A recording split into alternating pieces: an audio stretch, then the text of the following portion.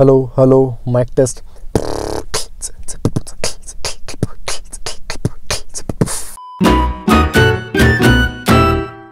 Hello financial programmers, I'm Ritvik Dashora and I'm back with a new video and some new learnings. In this video, I'll be talking about scipy.stats.norm functionality of this particular library. And in the, in the last videos, I talked about different libraries like NumPy, Pandas, Matplotlib and DateTime library. And all of them are very, very useful in the field of finance. And I have only talked about the most important aspects of this library because these libraries are huge. I don't want you to waste a lot of time learning the entire thing. That's why I have made this playlist for you guys to just under, understand the most important aspects of this library. And in this video, I will talk about the norm functionality of scipy.stats package. As I mentioned in the last video, for this playlist, I am taking out some materials from this course, which is Python for Financial Programming, which is specifically designed for people who want to learn Python for finance from scratch. And I have talked about multiple things that covers all different aspects of Python programming in finance. Watch this video till the end and I'll tell you the benefits of enrolling in this particular course. So, uh, what is scipy.stats or the entire SciPy library used for. Uh, basically, it's used for statistical calculations um, for anything which requires things like say normal distribution or probability distribution function or cumulative distribution function. If you are finance students, then you might know about value at risk, which is VAR right or CVAR conditional value at risk etc etc so there are a lot of things for which we need to um, use this library which is SciPy library. And SciPy.stats is basically for all statistical calculations. SciPy is a huge library which covers a lot of things which includes um, machine learning as well so yes maybe like in future i'll cover uh, more detailed things about the entire scipy library. Right now i'm just focused about scipy.stats and inside that i'm just focused on the normal distribution because in most of the cases we'll be uh, talking about the normal distribution curve uh, and we need to understand how to do it in python right? So what i'm going to do here is i'll import from scipy.stats import norm right? Let's also import numpy as np and matplotlib dot pyplot as plt. Now we will be using a function of numpy which is arange, right? A range is basically uh, a, a, function which makes an array, numpy array, uh, which starts from one number and ends at another number and all the numbers between them are evenly uh, evenly distributed. So in most of the cases arange is used for making the x-axis right? So i'm creating x array is equal to np dot arange. It starts from minus 5 ends at 5 and the difference between all the numbers is uh, 0.25 so for example if i run this and if you see what is the output so so the output is uh, it starts from minus 5 it ends at 5 basically the last one it's not just considering but all the numbers are having a difference of 0.25 right? You'll see it is 0.25 is getting incremented in all the numbers to make it point, uh, 4.75 in this case right? So this is the x-axis that i'm going to use y-axis is basically norm dot pdf then x array which is basically the x-axis and 0 comma 1 0 is basically the mean and 1 is basically the standard deviation. So all the normal distribution uh, curves with uh, uh, the standard deviation of 1 and uh, average of 0 or mean of 0 are called as standard normal distribution right. So i'm just making a standard normal distribution here. I'm using norm dot pdf pdf is basically probability density function right? Then inside this i'm providing x array comma 0 comma 1 now let's see what is y array. Right.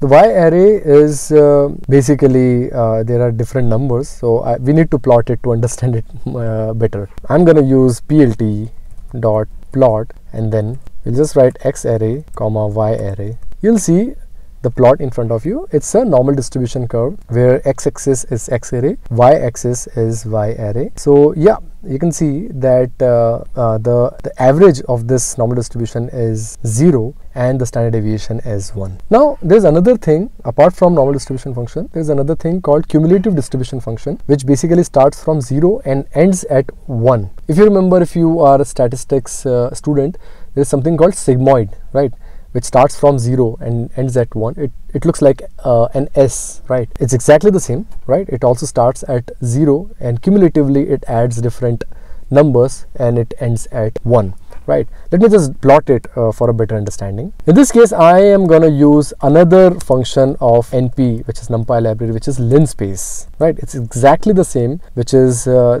that is using uh, arange. I'm using linspace in this case. Again the functionality is exactly the same. So here it starts from minus 4 ends at 4 and i want 1000 different numbers between them. So rather than providing this the incremental value I'm providing the number of items inside this particular uh, variable.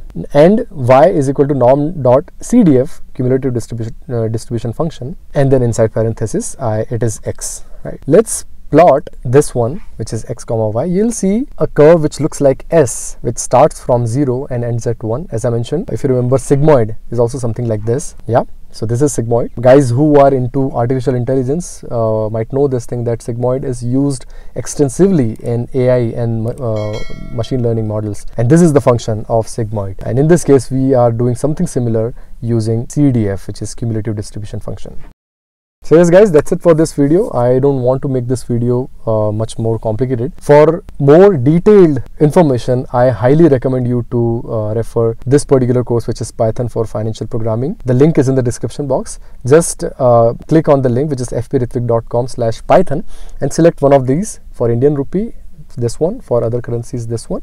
And you'll see this page in front of you. Just scroll a bit down. You'll see all different pointers for this course uh, uh, such as like five sessions 10 chapters 22 videos 10 quizzes 3 challenging assignments 2 live projects and 1 live session per month. These are the two live projects and you can pause this video and read it uh, i would say in detail. These are the different sessions in the inside the entire course syllabus right?